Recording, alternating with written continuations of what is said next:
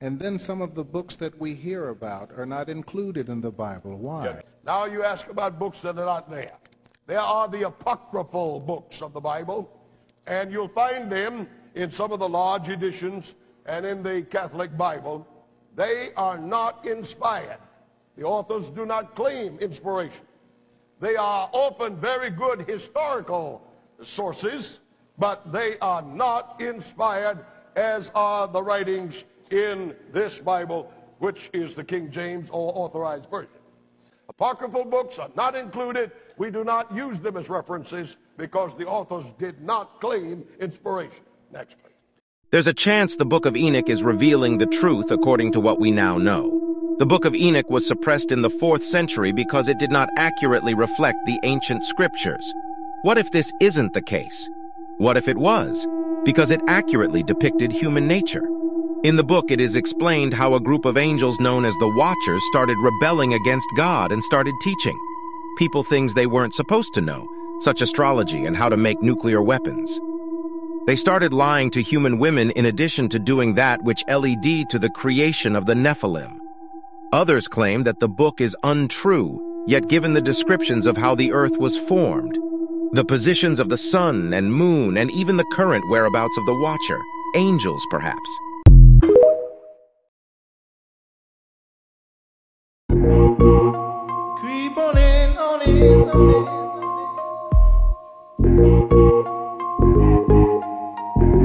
in.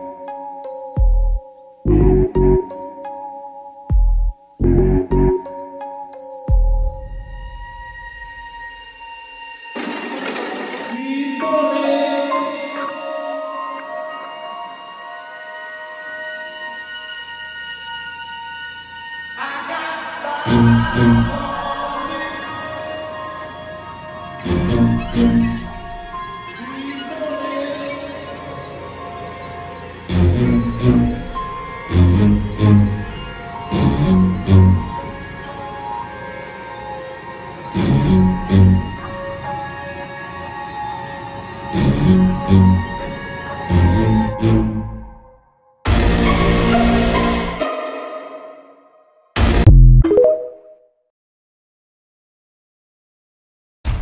The Book of Enoch 6 1 and 2. And it came to pass, after the children of men had increased in those days, beautiful and comely daughters were born to them, and the angels, the sons of the heavens, saw and lusted after them, and said one to another, Behold, we will choose for ourselves wives from among the children of men, and will beget for ourselves children.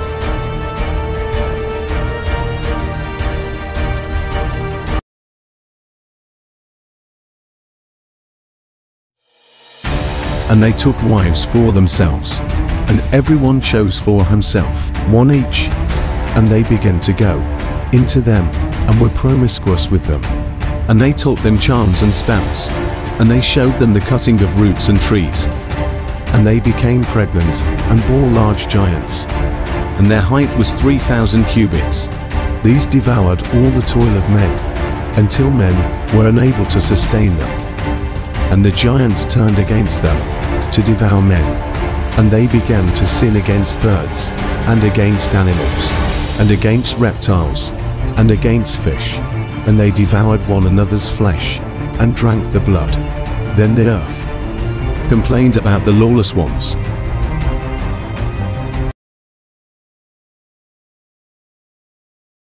A short summary of the Watchers, the Lost Book of Enoch.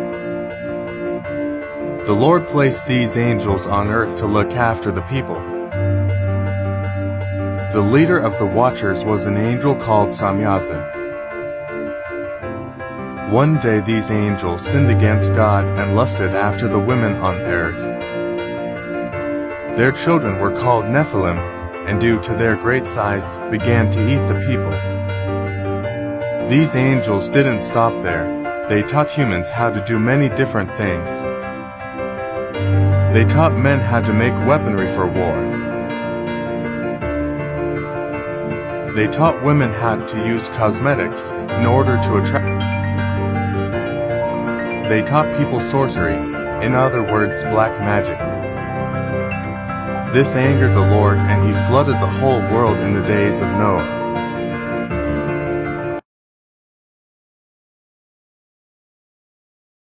Somebody else asked what I think of the book of Enoch. Okay, so the book of Enoch is quoted by Peter and Jude. And so those parts would be inspired.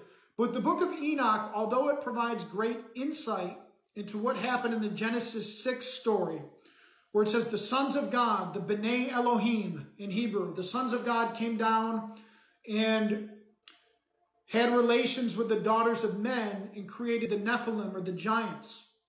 And the book of Enoch gives us further insight into that story, what happened. And it says that those fallen angels came down and they taught men uh, the cutting of roots, which could be sorcery. It could have to do with like uh, ayahuasca and people having these, uh, using objects or using chemicals from nature to access the spiritual realm.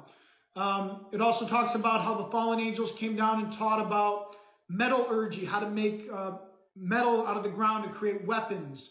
It taught women how to be seductive through makeup and painting their eyelids. But there's also some problems with the book of Enoch because one of the problems is, is with the height of the giants. So the book of Enoch, I believe, says that the giants were um, like 30 or 45 cubits tall, which would be like 150 feet tall, which uh, I don't think could be supported by the Bible or even reality. So I think that's one of the reasons why the book of Enoch was not chosen to be inspired or canonical. There's some mistakes in it in that regard, but it was quoted by Peter, quoted by Jude. Those parts are definitely inspired.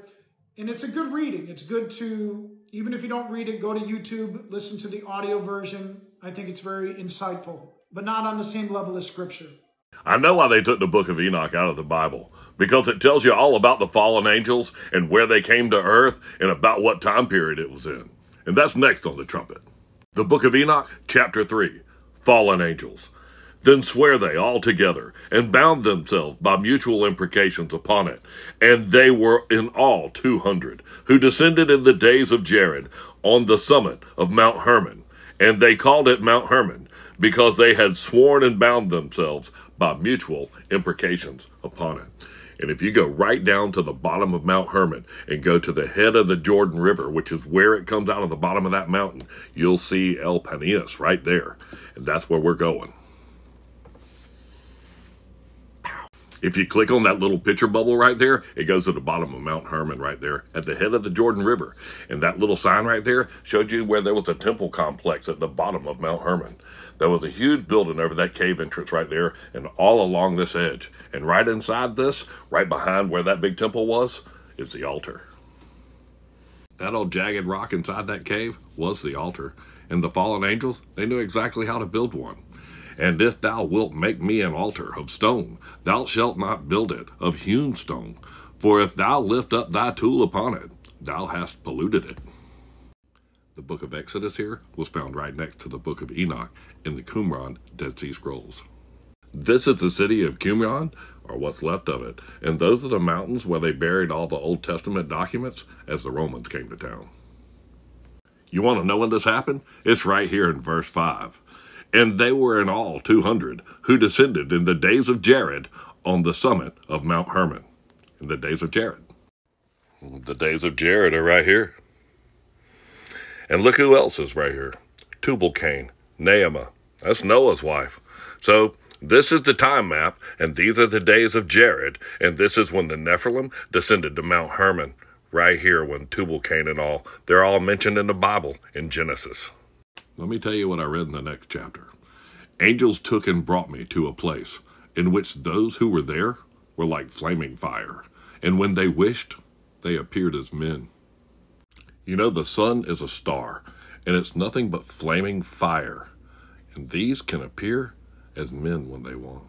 Throughout the whole book, it refers to the angels as stars, that there were seven stars bound, and it was a prison for the stars, and the stars which roll over in the fire are those which have transgressed the commandment of the Lord. Let me take you to this book in the Bible right here. And the fifth angel sounded, and I saw a star fall from heaven unto the earth, and to him was given the key of the bottomless pit. Like and follow the trumpet for more. And in Jesus' name, have a blessed day.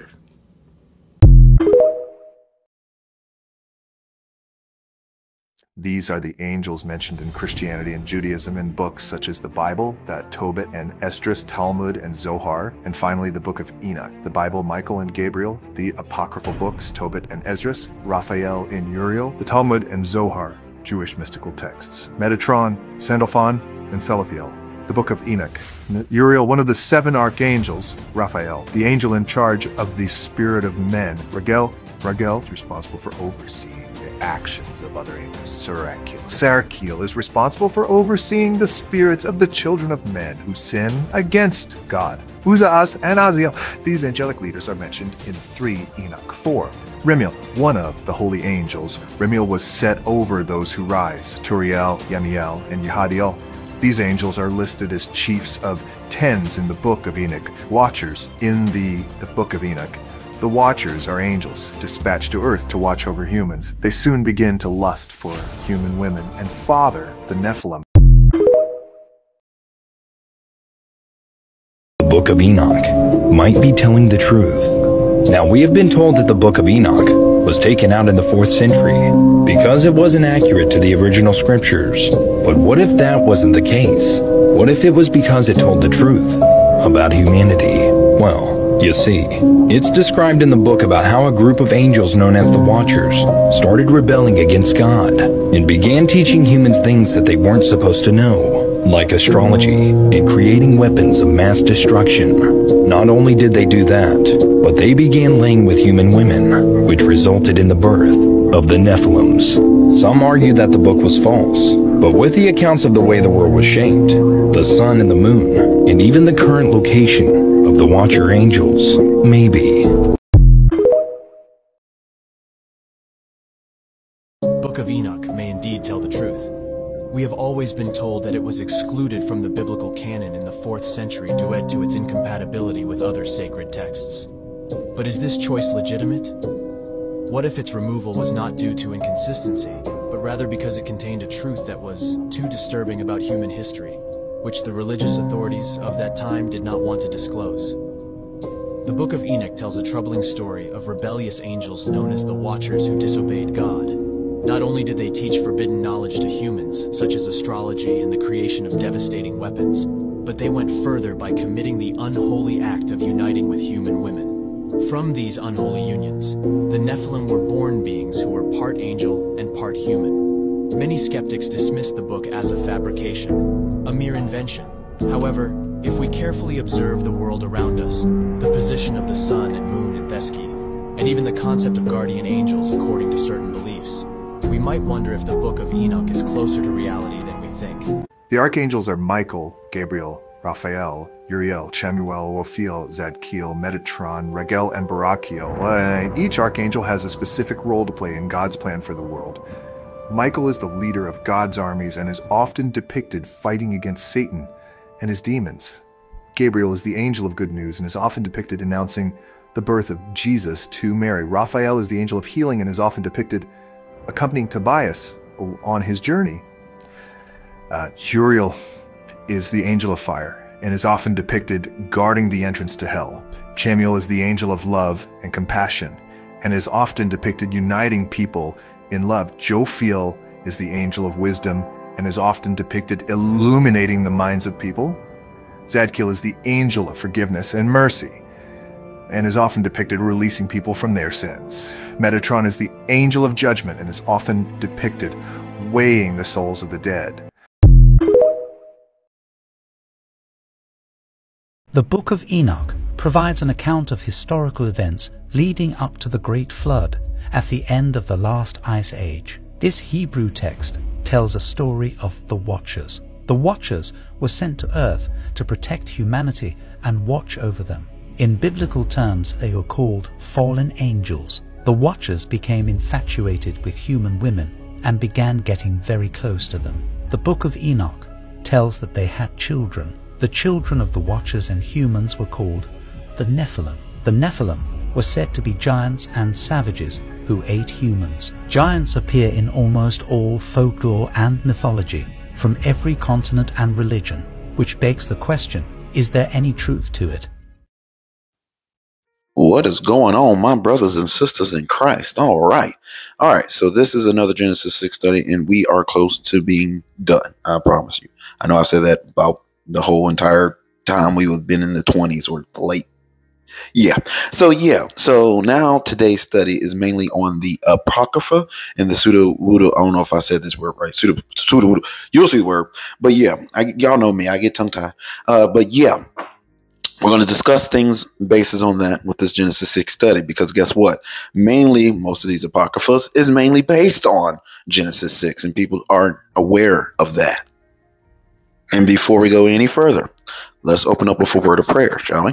Dear Heavenly Father, Lord Jesus Christ, God the Father, Holy Spirit, Lord, have your way.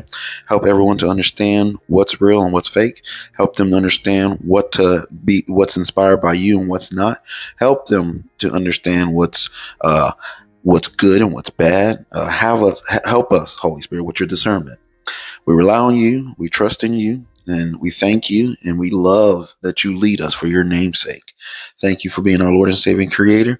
Thank you for being our teacher and our everything that we need. And that's that's all we need is you, Lord Jesus Christ. We love you. We thank you. And all glory to you, always and forever. And it's in Christ Jesus' name we pray all this. Amen. And to further clear some things, there are some books that are referenced in the Bible, our 66 canon Bible that we need to actually comprehend and realize God is leading us to these books so we can further get a clear reference of what's going on in the biblical text. All right, so here are a few more of the lost books.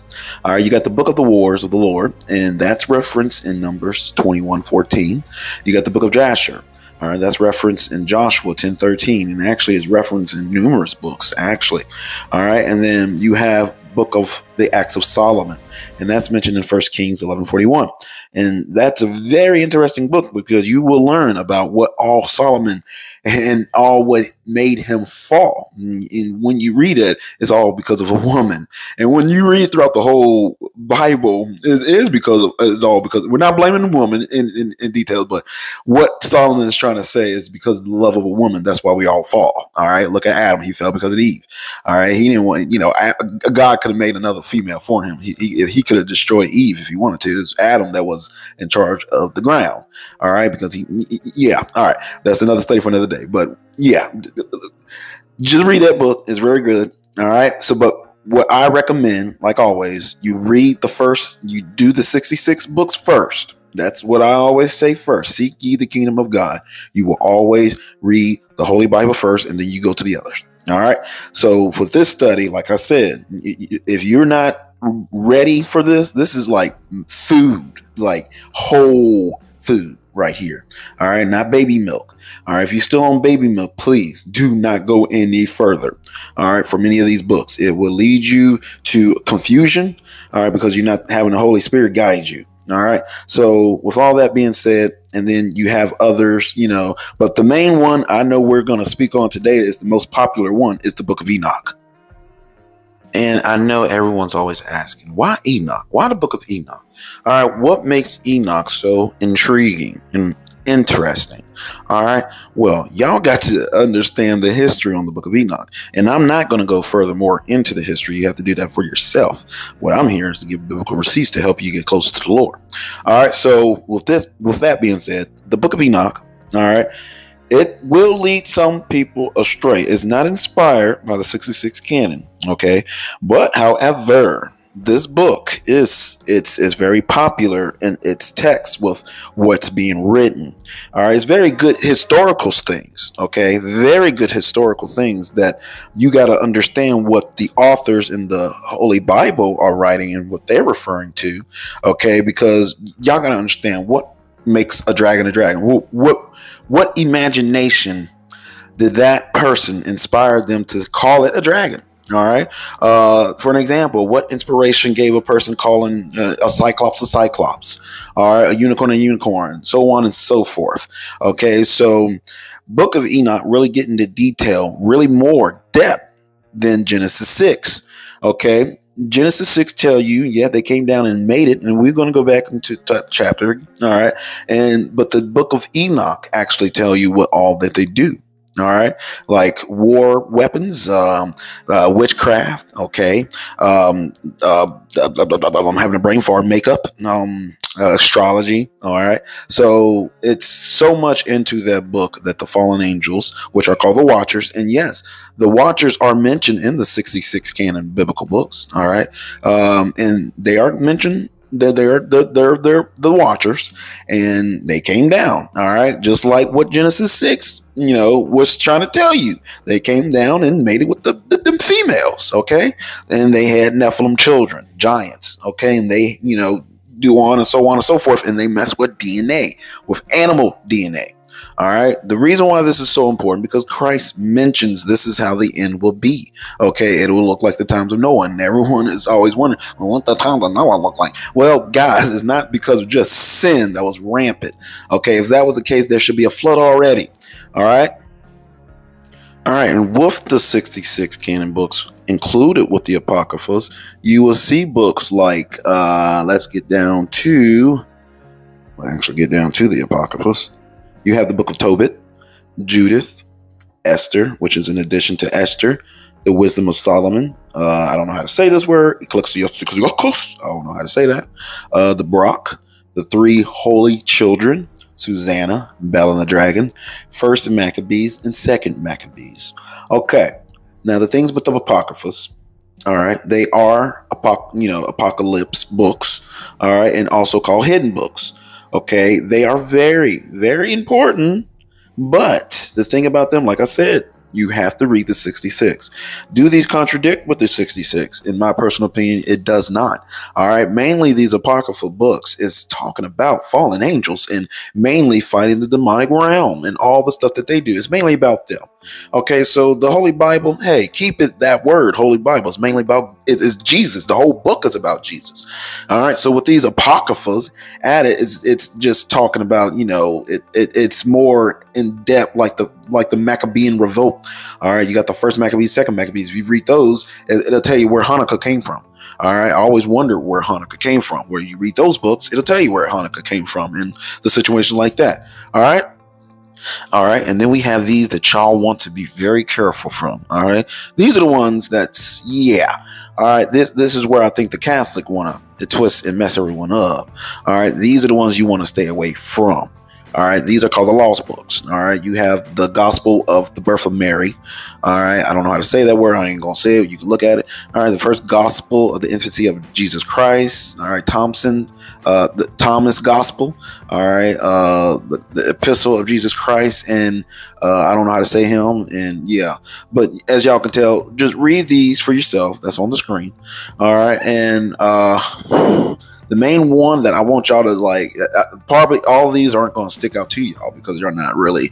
I'm not. I'm not assuming, but uh, I know y'all aren't going to be familiar with a lot of these people. All right, you got to be really in depth with the Bible to understand what's going on. All right, so you have like this. Here's the one that really will mess you up if you have not read the first uh, 60, well, Genesis to Revelations. All right. You have the first book of Adam and Eve. Stay away from that. The second book of Adam and Eve. Stay away from that. All right. You got the book of the secrets of Enoch. Stay away from that. All right. This is the book of Enoch have so many other uh, books. You know, there's so many Book of Enochs, basically. All right, but the main one is the one with the Watchers. All right, that everyone is stuck on, and I believe that's the one that everyone that that that's the legit one. All right, the Holy Spirit have not led me astray yet so far, and I'm not to think He ever to lead me astray. You know, you got to put your trust and faith in Him. That's the whole point. So He will lead you. Okay, and at this point, He have not gave me any, you know, uh, anything bad about the Book of Enoch with the Watchers. All right, other than you know. Uh, uh, angels having uh, abilities to forgive. But yeah, other than that, you know, like I said, don't look at the Book of Enoch as something inspirational. All right, uh, you never get anything um, from a verse from the Book of Enoch from me. All right, it's just good something for history. All right, some something. This is where they, like I said, the authors had a reference to. All right, and then you got the testaments of all the tribes, like Reuben, Simon, Levi, Judah, Issachar, Zebulon, Dan, Naphtali, Gad, Asher, Joseph, and Benjamin. All right, and then you have the Book of Jubilees. All right, like I said, read the 66 verse. The Book of Jubilees is a very long book. All right. It's something it really get in detail with what's going on. All right, with a lot of things. All right, such as the Book of Jasher as well. All right, so the Book of Jubilee, I believe, is very important too, as well. But like I said, read the 66 first. All right. But the biggest one of them all that caught my attention that led me, that the Holy Spirit led me to all of this. And I was familiar with the book of Enoch, okay, because that was the main one that everyone talked about. But the book of Jasher, uh, and there's many other books on the book of Jasher, you know, people say the original one this ain't the original one. But however like i said the holy spirit leads you for his namesake.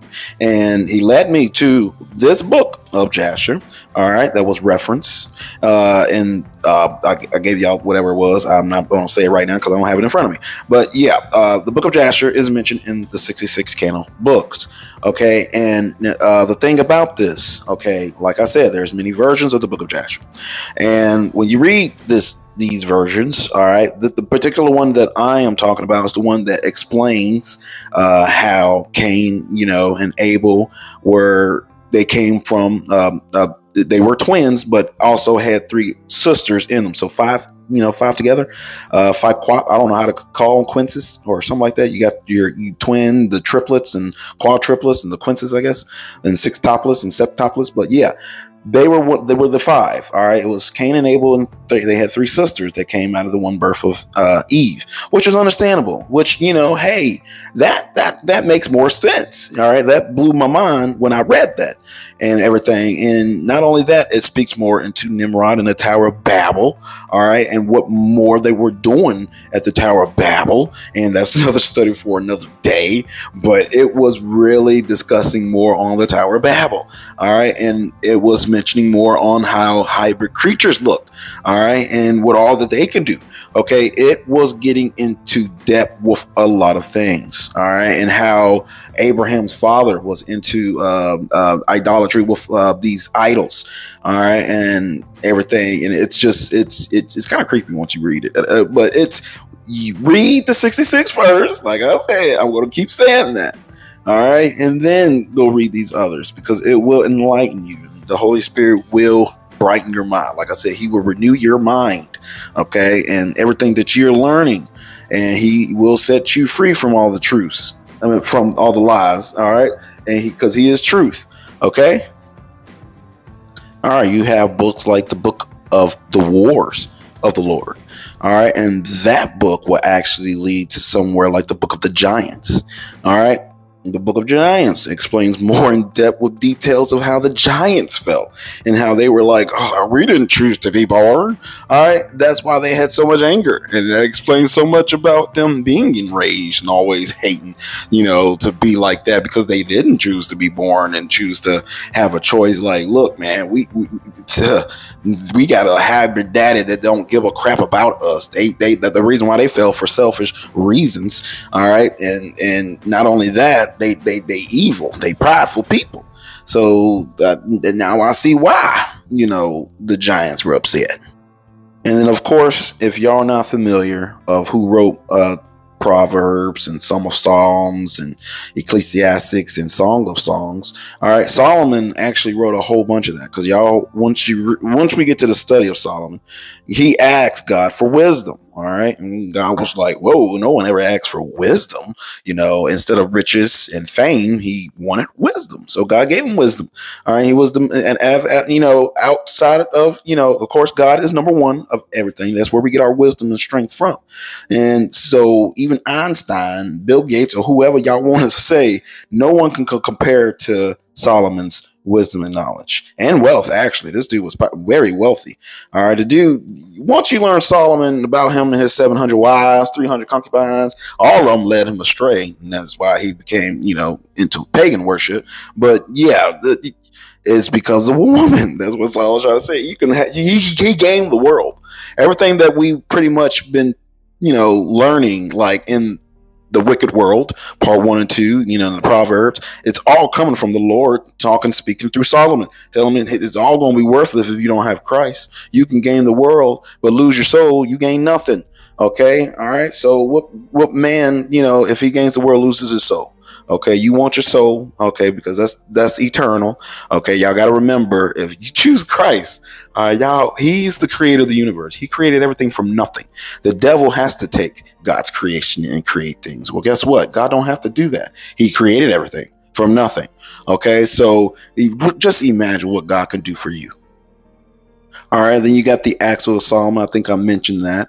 All right, and then you have the Annals of the uh, Kings of Israel, which is basically just First Kings, Second Kings, First Chronicles, Second Chronicles, uh, Samuel, and all that. Basically, in a nutshell, if you want to basically put it in that way.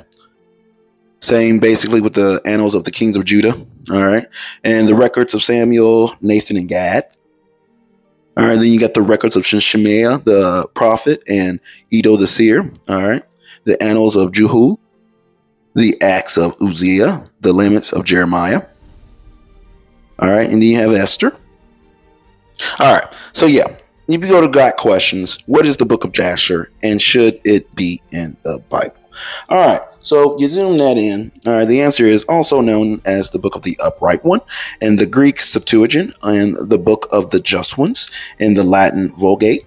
The Book of Jasher was probably a collection of completions of the ancient Hebrew songs and poems praising the heroes of Israel and their exploits in battle. The Book of Jasher is mentioned in Joshua 10 12 through 13 when the Lord stopped the sun in the middle of the day during the battle of Beth Horon.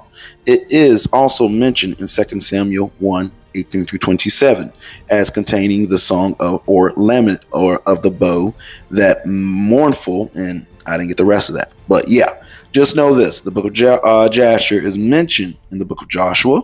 All right, that is after the Torah, which is Genesis through Deuteronomy. All right, and then you have it mentioned in Second Samuel's. All right. So that's where I was like, yeah, the Lord's trying to tell me something. I need to check out the book of Jasher. All right. All right. Before we go any further, I want y'all to look at what verse uh, uh 2810 in Isaiah says. So Isaiah 2810 says this. He tells us, which is God, he tells us everything over and over. One line at a time. One line at a time. A little here, and a little there. Understand that, guys. So you have the 66 canon books inspired by the Holy Spirit. All right. And everything is answered in the Holy Bible. All right. The thing about you know, people not understanding Revelations. Y'all have to understand Revelations is the last book of the Bible. And if you don't understand Revelation, it's because the Holy Spirit is testing you. Have you read the other 65 books in the Bible? Because everything is answered in those 60, 65 books. Okay. Nothing, you know, that people get their little theology, you know, about the end of the world. No, no, it's all explained a little bit here, a little bit there. It's not all going to be in one book. It's not all going to be in one chapter. Okay. Not all in one verse. You have to go It's like a puzzle piece. Okay. It explains here and there. The Holy Spirit wants to speak to you. Okay. It is a, a message from outside of time, space, and matter.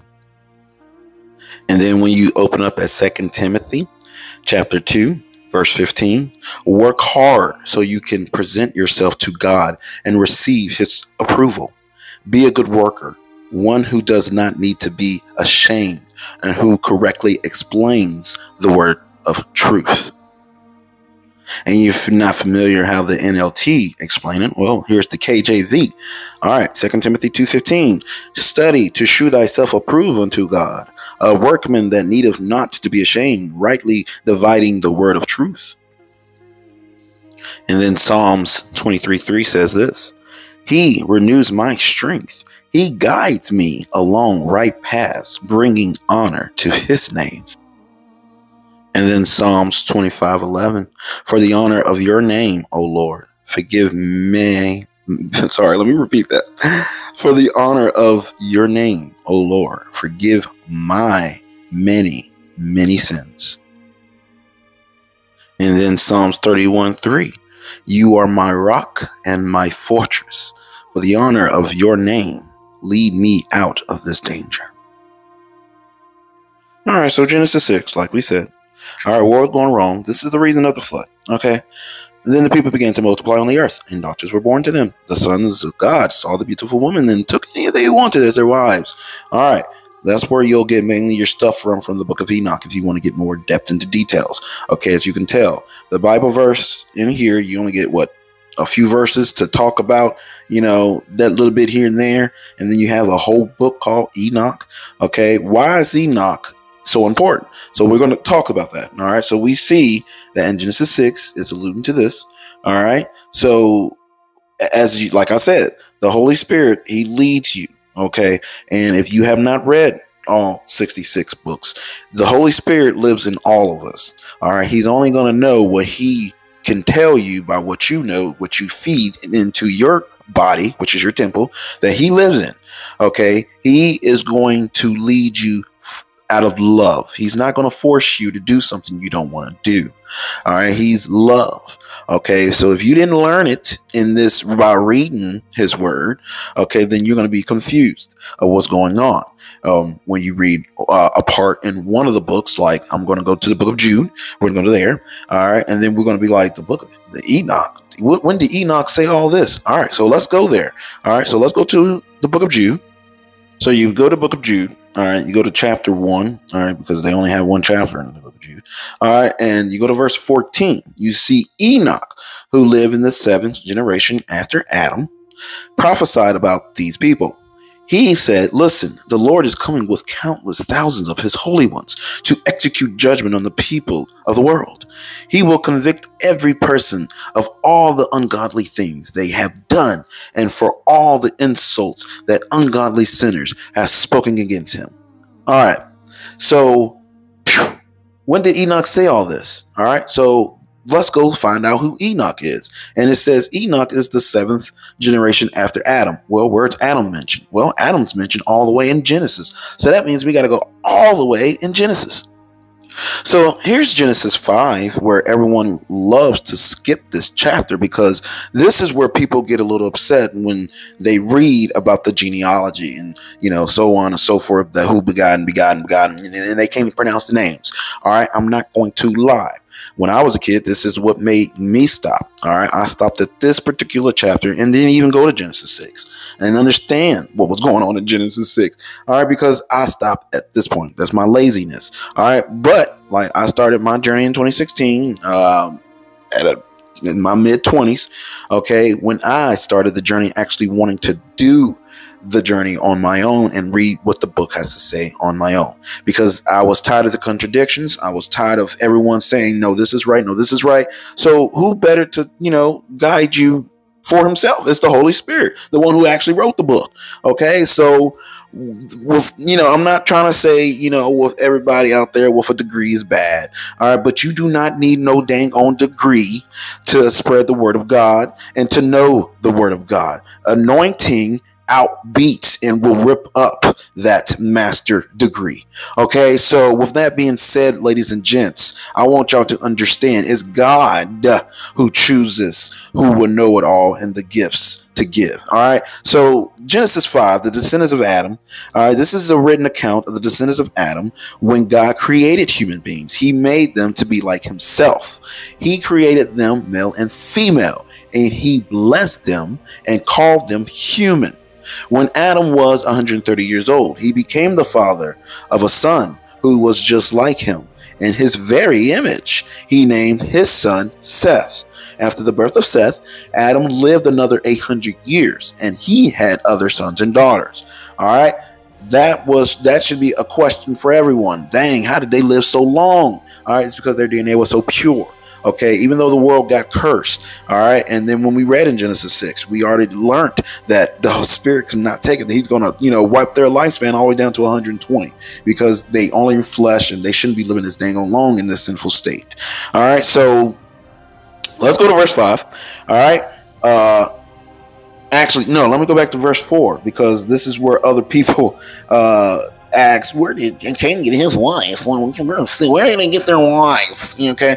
God did not make uh, incest illegal until after the great flood when DNA got split up in Genesis 11 and everything got split and in part and everybody had to go separate. All right y'all got to remember they had to do incest too. So get off of uh, Cain, all right, because apparently they had to go do some incest when they got split up. Okay, who y'all think cousin and cousin and sister, sister or whoever they were doing? All right, it was close relatives. Y'all got to put it that way. All right, doing each other just to repopulate. All right, y'all got to understand that. Okay, they, they okay. I'm just gonna continue because y'all need to understand it was pure DNA until you know things got more corrupt. We're not evolving, we dissolving. All right. So let's go to verse 4. After the birth of Seth, Adam lived another 800 years and he had other sons and daughters. Okay, 800 years is a long time to have some kids. I'm only 30 and I got three. Okay, and no, I'm 32, sorry, and I got three. I know I could have had way more, but my sinful state was doing other things to and prevent other, you know, more. But I, you know, uh, that's, that's so on and so forth. And just that, that, not just for me, that's for everyone too. I'm sure everyone should be having more kids than what they should be having now. All right, but yes, with that being said, uh, Adam, I'm sure he had buttloads of children. All right. And their genes were so pure. I'm sure every, you know, everyone knows every climax led to a pregnancy. All right. So I'm not trying to say E was always big and, you know, you know, pregnant, but I'm sure, you know, they was getting it. All right. So verse five, Adam lived 930 years and then he died. All right. When Seth was 105 years old, he became the father of Enosh. All right. And then we explained that Enosh, all right, when he provoked the name of the Lord, but that's another study. All right. After the birth of Enosh, Seth lived another 807 years, and he had other sons and daughters. Seth lived 912 years, and then he died when Enos was 90 years old when he became the father of Kenan. After the birth of Kenan, Enos lived another 815 years, and he had other sons and daughters. Enos lived 905 years, and then he died. All right, so the world's getting more populated, populated, populated. Everybody, kids coming left and right. And I'm going to warn y'all guys from Genesis 1 through 6, well, actually 1 through 11 is the prehistory. It, uh, well, let me just put it like this. From Genesis, you know, before the flood, that was a lot of, you know, people that was not going to heaven. As you can tell, it was eight people out of the whole world that made it in the ark. All right. So that's a lot of them that's in hell. All right. That's probably you know, that didn't even give a crap about the Lord because you got to remember they were right there. There's not many explained. There's not much said in the first world from Adam to Noah. Not very much said. That's a little bit of chapters.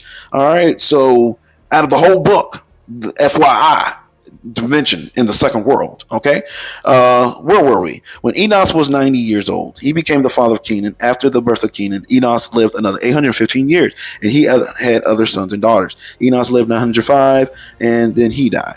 When Kenan was 70 years old, he became the father of Mahuel. After the birth of Mahuel, Kenan lived another 840 years, and he had other sons and daughters. Kenan lived 910 years, and he then he died. When Mahuel was 65 years old, he became the father of Jared. After the birth of Jared, Mahilel lived another 830 years, and he had other sons and daughters. Mahilel lived 895 years, and then he died. When Jared was 162 years old, he became the father of Enoch. Enoch, Enoch, Enoch. Oh, there we go. There's the name Enoch. Finally, we got to him. All right. So when Jared was 162 years old, he became the father of Enoch. After the birth of Enoch, Jared lived another 800 years, and he had other sons and daughters. Jared lived 962 years, and then he died. When Enoch was 65 years old, he became the father of Methuselah. After the birth of Methuselah, Enoch lived in close fellowship with God for another 300, 300 years, and he had other sons and daughters. Enoch lived 365 years, walking in close fellowship with God. Then one day he disappeared because God took him. Whoa, that sounds way different from all the others that we previously discussed on. All right, such and such died, such and such died, such and such died. It seemed like everybody died until it got to Enoch. All right, Enoch did not die. Okay, what is going on here? So clearly, the Holy Spirit is trying to lead you somewhere to learn more about Enoch. All right. Why is Enoch mentioned in the book of Jude, the book before the book of Revelations? And why is he, you know, t- how, how did he get a book? All right. And not much is said about this man. So, with that being said, the book of Enoch, mm, it put a lot of curiosity in a lot of people. All right. Like I said, the book of Enoch, it's not inspired, but it, it contains a lot of truth. Let's put it like that. It contains a lot of truth. All right. And before we even started on the Apocryphas, we have almost 22 parts. All right. We got Genesis 6 part one study, part two, part three, part four. All right, and I should have labeled them uh, early on. Talk about the Nephilims and the giants, mainly on one through four, and debunking, you know, the sons of gods being, you know, the line of Seth. In uh, part four, I suggest y'all to go look at that because if you still believe that the line of Seth is the sons of God, then yeah, you're not going to understand the whole entire Bible. All right, and then we discuss on angels. All right, and then archangels. Okay, demons. All right, demon. Uh, we got another part on demons. That's so much stuff that had been on demons because people were wondering where demons come from. All right, and they were having you know uh, a contra, you know, I guess um, contradiction or what's the word I'm looking for? Uh, they they was getting confused on you know the difference between fallen angels and demons. All right, because fallen angels are different from demons. Okay, demons are embodied spirits that used to be Nephilims, okay? And the Nephilims have nowhere to go, nowhere in hell, no place in heaven, okay? So they roam the earth, finding no peace. Christ speaks on it, all right? So we have Genesis 6, part 9 study mentioned the witches because a lot of them don't, you know, you got to look at Genesis 6 and how it mentioned that they took wives. Okay. You don't think they're going to teach their wives what to do, how to do it, and you don't think that their wives is going to be more demonic because this is the source of demonic. All right. Well, fallen angel. All right. So, with that being said, the book of Enoch speaks a lot on how they taught mankind how to make weapons, witchcraft, cutting the roots and all that stuff, astrology, all right, magic stuff, okay, stuff that shouldn't be taught to men, all right. And before we even opened up a, a apocryphal book, all this was mentioned in the Bible. All right, and then like the false gods mythology, okay, uh, the false gods like the Anunnaki, okay, all right, and then we have the creatures, the cryptid, okay, and then we have the advanced ancient civilizations, aliens, UFOs, dimensions. All right. Speaking on that with the realms in heaven and hell. Okay. And then strange places on the earth. Okay. Bizarre and fascinating places. Okay. And explaining how the seven deadly sins came about. Okay. From these fallen angels and why the world became what it is, why it's so wicked. All this, all right, is alluding to Genesis 6. Okay. And not only that, it started from the beginning where Genesis 3, when the man and woman sinned and the serpent, you know, enmity between her seed and his seed. So it's a bloodline of who and who. Okay. So the devil has a seed and God has a seed. We already know God is human, Jesus Christ. He's fully God and fully human. Okay. We've already discussed that. All right. Look at verse 1. This is the written account of the descendants of Adam. When God created human beings, that's us, right? Okay. He made them to be like himself, okay? Not like angels, okay? Not like animals, okay? Human. So when people have a problem that Jesus wasn't human, they gonna have a problem with the heavenly Father saying, "Huh? Wasn't a human went down that died on the cross for you? It wasn't a turtle. If so, look for the turtle because my son is human. All right. He created them male and female. Okay. Male and female, not them. Male and female, not a he, she. Male and female. All right. And he blessed them and called them human, them pertaining male and female, not them, them, whoever them are, not what they trying to say them are now. No, them, which is pertaining to male and female, human. All right. So with Jude chapter 1, in verse 14 with that big clue, all right, that's when I knew the Holy Spirit was trying to tell me something. And this is when I very got all the way to the end and realized that because I was familiar with the book of Enoch before I got to the book of Jude. Okay. And then the thing is, I just read the watcher part in the book of Enoch because I was very intrigued on that part. All right. But the thing is, this is where the Holy Spirit was trying to confirm something to me. All right. And then when people discussed it on the book of Enoch, not being inspired, but have some historical truth, that's when I believe, like, oh, wow. You know, take some of that, you know, not with a grain of salt, but not fully truth, but what he is saying pertains some truth in it. Just like Hollywood will throw some truth of you in subliminal messages in music and movies and so on and so forth. All right. So the Holy Spirit is speaking to you here. All right. The verse 14, Enoch, who lived in the seventh generation after Adam, we just read all that, prophesied about these people. All right. We talked about all the stuff that he prophesied, and he said, Listen, the Lord is coming with, well, actually, we didn't you know, talk about what he prophesied, but this is what he prophesied. He said, Listen, the Lord is coming with countless thousands of his holy ones to execute judgment on the people of the world.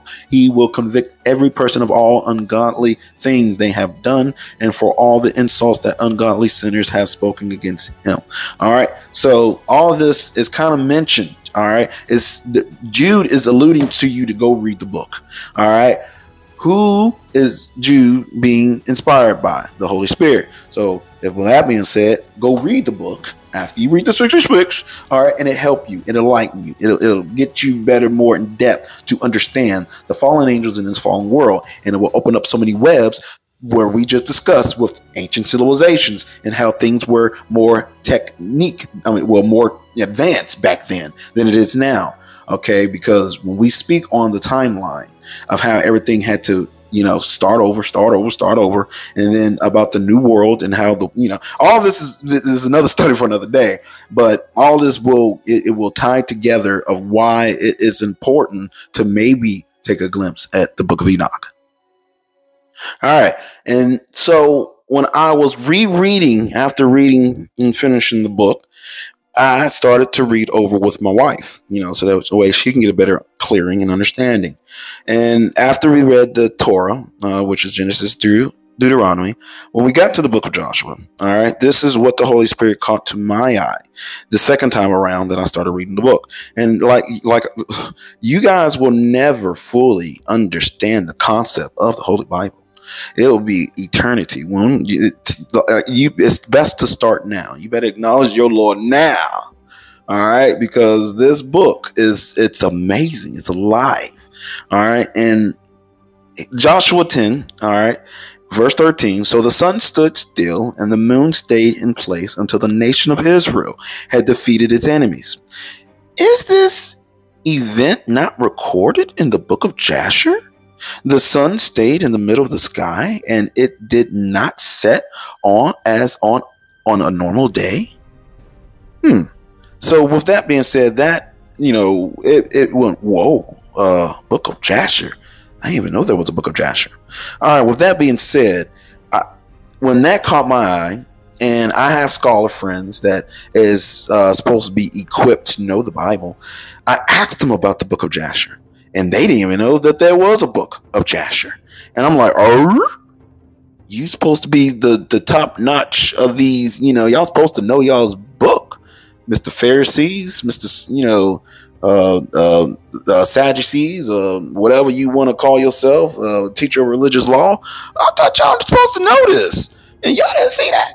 See, the Holy Spirit will show you who's anointed, who's supposed to have the Word of God, all right, and supposed to be really presenting it the right way, and the ones that's doing it for a paycheck, the ones that want the popularity and have a quick fix of the of a not want to do nothing, claiming that they're always busy when really they're not. They're just chilling, talking to people, you know, spending money on, you know, going to lunch. Hey, you want to go to lunch and talk about the Lord and say the same stuff over and over. You know, basically that's what they do.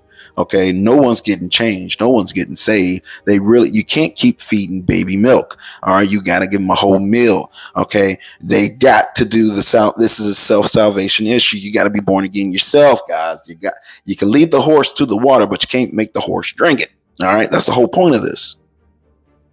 All right, so when you go to First Kings and you go to chapter 11, you go down to verse 41. All right, this is summary of Solomon's reign. The rest of the event in Solomon's reign, including all his deeds and his wisdom, are recorded in the book of the Acts of Solomon. Solomon ruled in Jerusalem over all Israel for 40 years. When he died, he was buried in the city of David, named for his father. Then his son Rehoboam became the next king. All right. So when I came back and read First Kings, and I saw, well, dang, here's another book. So this these led me to the rabbit hole of finding out about the other books. Okay, like the Book of Jubilees, the Book of the Giants, and all that. And why they're not so, you know, popular of being taught and told. Well, when I came to the conclusion about these books, it's mainly talking about the fallen ones, the demons, and how to stop them. And the Maccabean revolt is how, you know, the Hebrews wasn't going to take the nonsense from the Greeks and they actually rebelled and fought against them. All right. That, well, that, well, that's something that the Catholic Church don't want you to know. Okay. When you read these Apocryphas, when you read these pseudo books, when you read these lost books, the Holy Spirit will give you great discernment of which is real, which is fake. And when He show you all the ones like the Apocryphals that's not mentioned that people don't even know about, like the Book of Tobit, all right, uh, Bel and the Dragon, and so on and so forth. Okay, those are the books that you really want to pay attention to. They get into detail about the spiritual realm. All right, and then you got the the Acts of Solomon. It mentions a lot about a signet ring and how he was casting out demons. Okay, so like I said, read the 66 first because the only way you can fight against the spiritual warfare is having the Holy Spirit with you. And by doing that, is doing what? Crucifying yourself. All right. Is by fasting and praying, reading your word, you know, all right, getting your relationship with the Lord. All right. It's by reading what he says, you get, get, get to know him. Okay. And then you're born again. Okay, after you read all that, I know that's what it is, guys. Read from Genesis to Revelation, get to know Him. Fast and pray and believe in every word, chapter from chapter, verse from verse. Okay, actually knowing this is your Lord, praying to Him like, Lord, I know I'm not understanding this the first go around, but I know I can trust in You to help me understand. You know, from here on out. All right, I put my trust and faith in Him. I know He's real. I know He's there. All right, I'm here to tell y'all the same. Okay, so with that being said let's end this and y'all guys have a good day. What if I told you the reason for Noah's flood may not be what we've been told? According to the book of Enoch, God sent an angel to Noah and said, Now instruct him that he may escape and his seed may be preserved for all the world and generations. And according to Enoch, the watchers descended upon the earth and messed with the divine DNA that God intended for his people by creating their own children and taking wives from the daughters of men. And according to Enoch, this flood was to reset or wipe out that very genetic line. That very thing that challenged God's original divine, pure genetic line. And what if, thousands of years later, the fullness of God in Yeshua walked the earth to repair this DNA fully? That's just my thought. Leave me a comment with yours and follow for more of this content. It truly is a mystery what would happen to those women who would bear the children of fallen angels. After being taught hidden knowledge from the heavens, these women would end up becoming the founders of sorcery. These were mothers of entire generations defiled by magic. Enoch says how the angels teach these women stuff like incantations and the dividing of roots, which is medicine. All this forbidden knowledge lands these women a uniquely strange punishment. These women would become the first ever mermaids. Their punishment was to be turned into sirens, bound to the deep, deep blue sea. Of course, these were during the days of Noah. My question to you is can a mermaid survive a flood? The siren is one of the oldest myths on earth. Sailors have always had these tales of beautiful girls who then turn into monsters who then drag them down to the bottom of the ocean. See, once upon a time, these beautiful sirens were the wives of fallen angels. And for what they had learned on earth, they were ultimately banished to the ocean. There's a chance the Book of Enoch is revealing the truth. According to what we now know, the Book of Enoch was suppressed in the 4th century because it did not accurately reflect the ancient scriptures. What if this isn't the case? What if it was because it accurately depicted human nature? In the book, it is explained how a group of angels known as the Watchers started rebelling against God and started teaching people things they weren't supposed to know, such astrology and how to make nuclear weapons. They started lying to human women in addition to doing that, which led to the creation of the Nephilim. Others claim that the book is untrue, yet given the descriptions of how the earth was formed, the positions of the sun and moon, and even the current whereabouts of the Watcher angels, perhaps. Bayonetta, Christians she was a naked witch anime. that's fighting the angels of God. Neon Genesis Evangelion, same thing. Earth got seeded with the seeds of life and the seeds of knowledge. The angels of God literally had to come to Earth to try and destroy half of humanity. The humans decide to make Oni robot. The good guys are controlling the demon robots fighting the angels of God, and that's the heroes. His dark materials, same thing. We're gonna fight against the creator. We the fallen angels were cast out of heaven. They found somebody on earth that was worthy to help them in this holy war against the creator seven deadly sins. Uh, same thing the seven deadly sins each of them are a personification of each sin. They are the heroes who are fighting against guess who? The ten commandments. Why would anyone root for the good guys who are the seven deadly sins in opposition to things like love and peace and joy? Shin Megami Tensei same thing. Guess who the villain is? Yahweh. This is over and over and over again. This is brainwashing propaganda Book of Enoch might be telling the truth. Now, we have been told that the Book of Enoch was taken out in the 4th century because it wasn't accurate to the original scriptures. But what if that wasn't the case? What if it was because it told the truth about humanity? Well, you see, it's described in the book about how a group of angels known as the Watchers started rebelling against God and began teaching humans things that they weren't supposed to know like astrology and creating weapons of mass destruction. Not only did they do that, but they began laying with human women, which resulted in the birth of the Nephilims. Some argue that the book was false, but with the accounts of the way the world was shaped, the sun and the moon, and even the current location of the Watcher Angels, maybe. Should I read the Ethiopian Enoch? I would say when it comes to books that lie outside the canonical tradition, I would say we should read anything that the biblical writers read. Because the more you have what they had at their disposal in your head, the better able you'll be to pick up what they're laying down. If you read Enoch, the Genesis Apocryphon, the Baal Cycle, if the wisdom of Amenemope, you read these texts, and a good study Bible will tell you what they're dipping into, then you can go read it. Ancient books don't have to be canonical to be valuable. And if an ancient book is valuable, the reverse is true. That doesn't mean it's canonical either. My advice is always read the material that the biblical writers were exposed to because they're not writing to you. They're writing to people who lived in their day that they assumed would just kind of know that. You're not going to just kind of know that. So I would say, yeah, we need to expose ourselves to that so we just become more intelligent readers of Scripture. We gotta praise God. Let's count our blessings. I'll teach you a lesson, and yeah, we gon' praise God. Yeah, yeah, uh. We gotta praise God.